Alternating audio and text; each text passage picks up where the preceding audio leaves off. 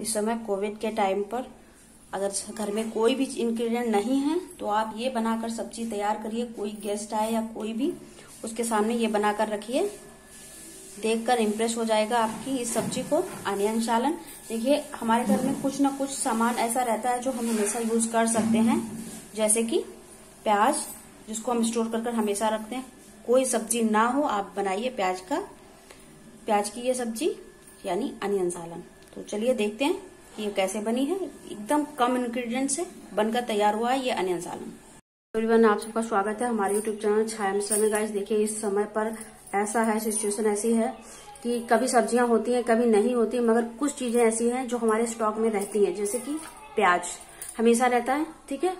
और तो आज हम इसी की सब्ज़ी बनाएँगे। बहुत अच्छे से hotel style, onion salan, but थोड़ा सा हम इसमें चेंज करेंगे, ठीक है? तो देखिए क्या चेंज करते हैं।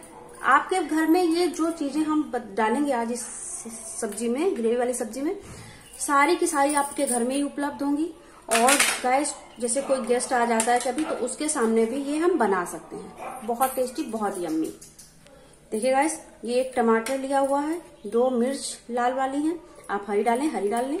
और ये हमने एक इंच अदरक का टुकड़ा। इसका हम बना लेंगे पेस्ट और ये देखिए प्याज, जो हमने चार प्याज ले लिए हैं, आप चाहे तो इसे समूचा भी रख सकते हैं, ऐसे ही रख सकते हैं।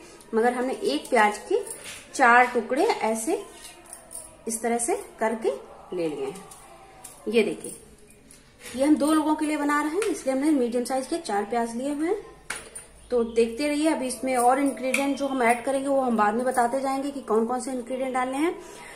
वैसे तो ट्रेडिशनली जो बनता है, उसमें खसखस पड़ता है और मूंगफली के दाने भी पड़ते हैं। बट ज़रूरी नहीं है कि हमारे पास वो चीज़ें उपलब्ध हों। खसखस है, नारियल बूरा है और मूंगफली है। मूंगफली के दाने, ये चीज़ें ज़रूरी नहीं है कि सबके घर में उपलब्ध ही हो। मूंगफली हो भी सकती है बट ज़रूरी नहीं है कि खसखस हो सबके यहाँ। तो चलिए, इसके बिना भी हम बना सकते हैं होटल स्टाइल अनियन सालन। तो चलिए, बनाते हैं।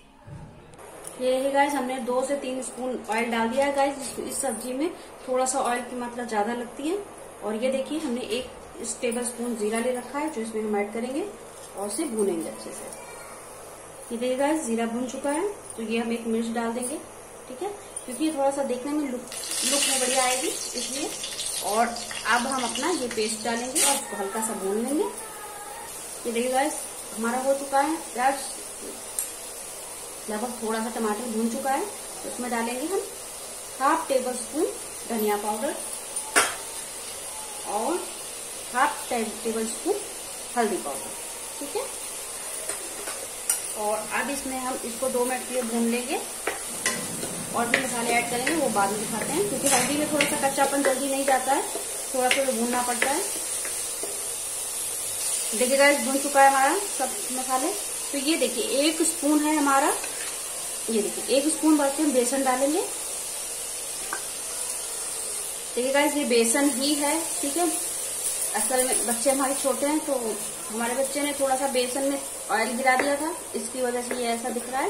तो इसको अब हम अच्छे से भून लेंगे, जब तक इसका ऑयल अच्छे से इनकी दूसरा बेसन है, बेसन धीरे धीमी धीमी आँच पर, अच्छे से भून जाए, कच्चापन उसका दूर हो जाए, तब तक भूनेंगे। अब ये देखिए गाइस हमारे अनियन सालन को थोड़ा सा क्रीमी और एकदम क्रीमी क्रीमी दिखने वाले, दिखने के लिए हमें क्या करना है? हमने ताजे दूध की मलाई ले ली है, जिसको हम दो स्पून इसमें ऐड कर देंगे, ठीक है? ये देखिए दो स्पून ऐड कर दी हमने। और इसको भी अब अच्छे से फ्राई कर लेंगे इसी के साथ में, जिससे कि ठीक है दूध की क्रीम आपके सबके घर में होती है, क्योंकि दूध सबके घर में होता है, ठीक है?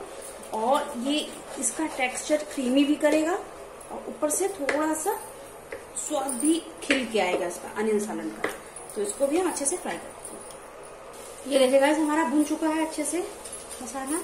और ये थोड़ी सी हमने रोस्टेड मूंगफली ले, ले ली है जिनका छिलका नहीं डाया तो इससे अच्छा आएगा कलर दिखने में। तो इनको भी डाल के इसमें मिक्स कर लेंगे और इसमें अब ऐड करेंगे हम अपना प्याज। ये देखिए धुला हुआ कटा हुआ प्याज है तो इसको हम इसी में ऐड कर देंगे इसी तरह से।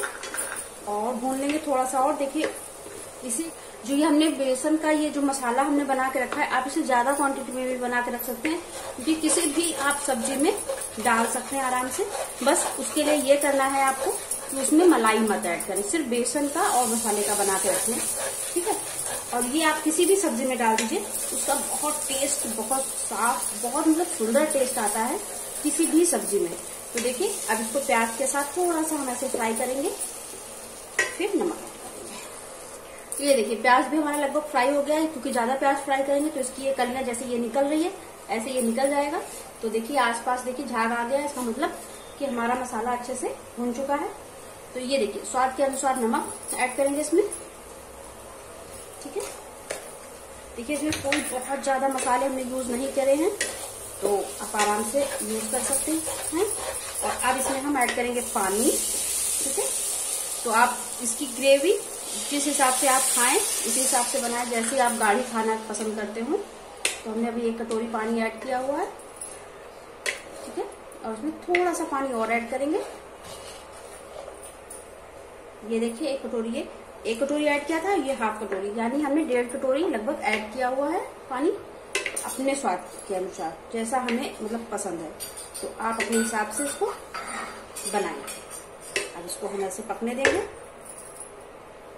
देखिए गाइस बॉयल आने लगा है इसमें, ठीक है? तो इसको एक बार ऐसे चला देंगे। और उसके बाद जब तक हमारा प्याज सॉफ्ट ना हो जाए, तब तक हमें इसको पकाना है। तो ये ढककर हम पका लेंगे। ये देखिएगा हमारी बन चुकी है सब्ज़ी। पाँच मिनट में एकदम बढ़िया फ़र्स्ट क्लास सब्ज़ी बनकर तैयार है। और इसको अब हम, आप देख सकते हैं, ऐसे कट करके एक प्याज ऐसे देख लें। आराम से कट हो जा रहा है। तो ये हमारी सब्ज़ी बन चुकी इसमें डालते हैं थोड़ा सा गरम मसाला, फिर सर्व करते हैं। ये देखिएगा हाफ़ टी स्पून गरम मसाला ऐड करेंगे इसमें और इसको मिक्स करके एक मिनट के लिए खाली ऐसे रख देंगे, जिससे कि इसका जो मसाले का फ्लेवर है, सारी सब्ज़ी में एक सा हो जाए, उसके बाद में हम सर्व करेंगे। ठीक है? तो इसको ढककर हम रखते हैं एक मिनट के लिए। ये देखिए, इस तरह से ढक के रख देते हैं। ठीक है एक मिनट हो चुका है तो चलिए सर्व करते हैं इसको। ये देखिए गाइस बनकर रेडी है हमारा अनियन सालन। घर में कोई भी गेस्ट आए, आप उसके सामने बना कर रख दीजिए, उसको बहुत टेस्टी लगने वाला है।